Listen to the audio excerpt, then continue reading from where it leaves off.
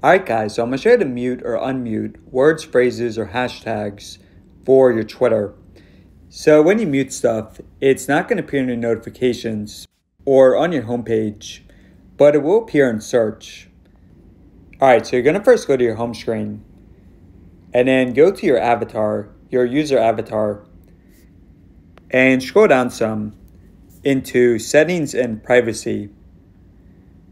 And then you're going to press on privacy and safety, and then go to mute and block, and go to muted words. All right, now in the bottom right corner, you guys see it says add. So press on that. So we're not going to see this stuff on our home timeline or notifications. And just for example, let's say if I don't want to be spoiled by the new Spider-Man, of course, there are a lot of words or phrases you can put in here, but it's going to do Spider Man for now. And just for example, let's say if I'm seeing a movie tonight, then set the duration to do seven days. Or, of course, if you never want to see the word, just do forever.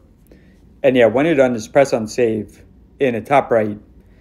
And now, if you want to unmute this, let's say if I just saw the movie, just press on hashtag and uh, at the bottom press on delete word and just confirm.